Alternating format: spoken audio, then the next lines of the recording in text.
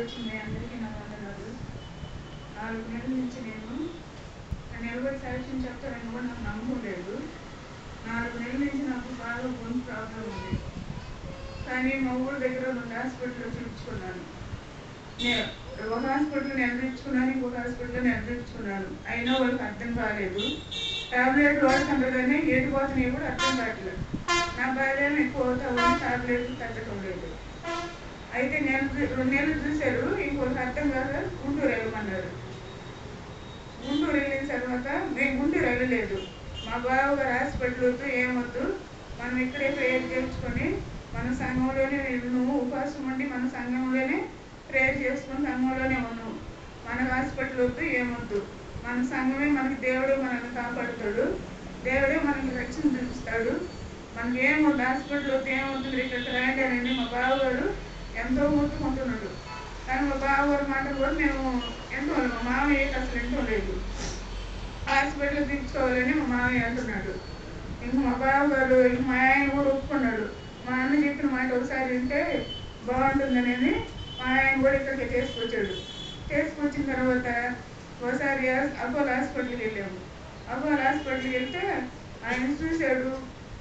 లోపల గొలుపు పరీక్ష అన్ని చేశాడు. చేసిన తర్వాత ఆయనకు కూడా అర్థం కావట్లేదు. భార్య ఏంటో అర్థం కావట్లేదు. ఏంటి ఇలా వచ్చింది? అసలు ఏ పేషెంట్కి కూడా నేను చూడలేదు. ఈ అమ్మాయికి ఏంటి? గొంతంతా అంతా వాపు వచ్చేసింది. అసలు ఏం అర్థం కాని జబ్బులు ఉంది. ఆయన ఆ డాక్టర్ కూడా ఆయన టీవీలు అన్నీ రికార్డ్ చేసి పెట్టుకుంటుండు. అసలు ఆయనకు కూడా అర్థం కావట్లేదు. నా భార్య ఏంటో ఆయనకు కూడా అర్థం కావట్లేదు. ఇంత తర్వాత ఇంకేదేదో చెప్పుకొచ్చాడంట. నాకు కూడా చెప్పట్లే నేను భయపడతానని నాకు చెప్పట్లే. నన్ను బయటకు పంపించేసి మక్కు వాళ్ళతో చెప్తున్నాడు. ఆ అమ్మాయికి ఇక్కడ ఒక రంధ్రం వేసి గొంతు కింద రంధ్రం వేసి పైప్ పెట్టాలి.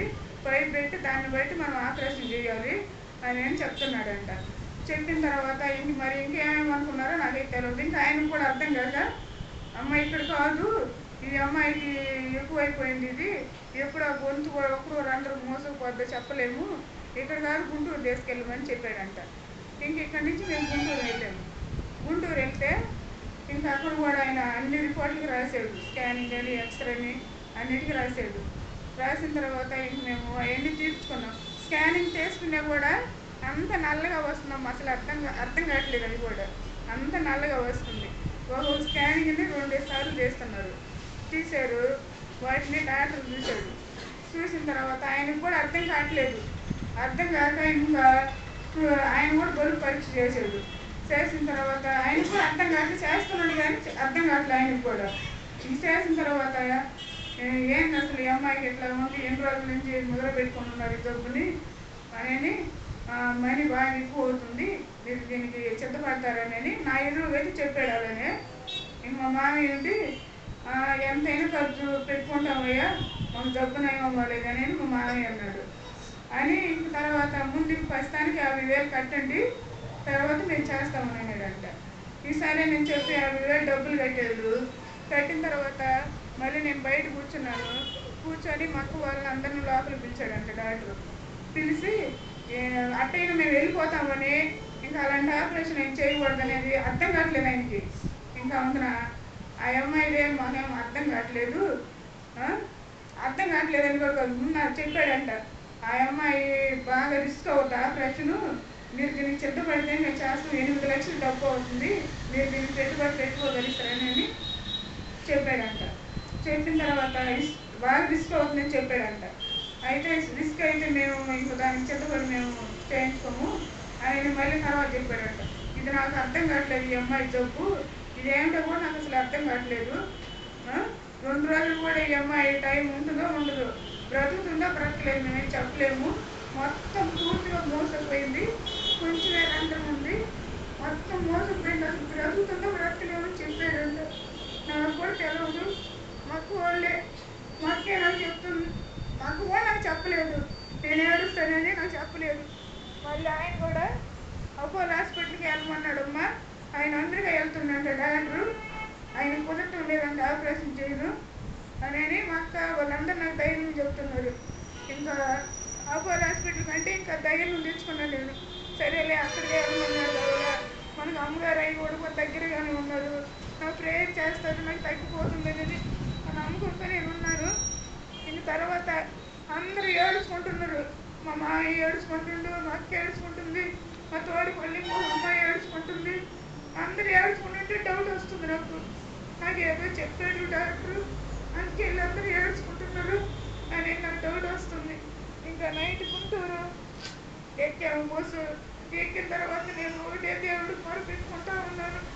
ఏసయ్య నా పిల్లల్ని కూడా వదిలిపెట్టుకొని వచ్చాను. నా పిల్లల్ని కూడా చూసుకుంటాను చూసుకోను. నా పిల్లల్ని చూసుకునే విధంగా నన్ను చూపించయ్యా అని నేను దేవుడికి ఎంతో మొరపెట్టుకుంటూ ఆ బస్సులో నైట్ అంతా ఏడ్చుకుంటా కొనుక్కొని వచ్చాను. వచ్చిన తర్వాత ఆ రోజు నా మొహంతో కూడా వాసిపోయింది. దేవుడికి మొరపెట్టుకొని ఏడ్చుకుంటున్నప్పుడు నా పిల్లల్ని లాస్ట్ సార్ చూసుకున్నాను చూసుకొని అయ్యో అని మా అన్నయ్యలు కూడా ఇట్లాంటి జబ్బే వచ్చింది. వాళ్ళ రెండు ఆమె కిడ్నీ ప్రాబ్లం అయితే స్కానింగ్లు ఎక్స్రేలు తీసి ఆయనకు అర్థం కాలేదు. హాస్పిటల్ ఎన్నో హాస్పిటల్ తిప్పారు. ఆయనకు అర్థం కాదు చనిపోయాడు. లాస్ట్ అని కూడా అలానే చనిపోయాడు. నాకు కూడా అలాంటి ప్రాబ్లమే వచ్చింది. నేను కూడా పిల్లలకి దూరం అయిపోతాను. నా పిల్లలు అనాథలు అయిపోతారు నేను అనాథగానే ఉన్నాను. నా పిల్లలు కూడా అనాథలు అయిపోతారని ఎంతో దుఃఖంతో ఏడుచుకుంటూ దేవుని మొరపెట్టుకుంటూ వచ్చాను మా బాబు నన్ను కాపాడింది. మా బాబు ఇంకెక్కడికి వచ్చాను అమ్మగారు అయ్యగారు ప్రార్థన చేశాడు రెండు రోజులు వరుసగా వచ్చి బుధవారం సోమవారం అయ్యగారు నాకు ప్రార్థన చేశాడు. అమ్మగారు అయ్యగారు ఒకసారి ఆదివారం ప్రార్థన చేశారు. నేను పడిపోయానంట నాకు తెలియదు నాలో నుంచి ఏదో అపవాది వెళ్ళిపోయిందంట. అప్పటి నుంచి నా గొంతుకు విడుదల వచ్చింది బాగుంది. ఇప్పుడు పూర్తిగా ఒక పక్క తగ్గిపోయింది ఇంకొక పక్క బాగుంది నేను ఏ మందులు వాడుకోలేదు ఏ ఇంజక్షన్ చేర్చుకోలేదు. నాకు ఈ ప్రేరాయిల వల్లే నా గొంతులో ఉన్న అది తొలగిపోయి నా గొంతు బాగైంది. నాకు మంచి రక్షణ కలిగింది. ఇదంతా మా బావగారి విశ్వాసం వల్ల నాకు ఇంత దయ కలిగింది. నా గురించి మీరు అందరూ ప్రార్థన చేయండి. నేను బ్రతుకుతాను ఇక్కడ సాక్ష్యం చెప్తాను చెప్పలేను. కూడా లేదు మా అన్నయ్య వాళ్ళ పరిస్థితి నాకు కూడా వచ్చిందని ఎంతో ఏడ్చుకున్నాను. నాకు దేవుడు నాకు రక్షణ కలిగించాడు నాకు మా బావగారి విశ్వాసమే నన్ను కాపాడింది. ఏసయ్య నన్ను కాపాడాడు. నా గురించి మీరు అందరూ ప్రేయర్ చేయండి. ఈ సాక్ష్యం దేవుడు దీవించిన కదా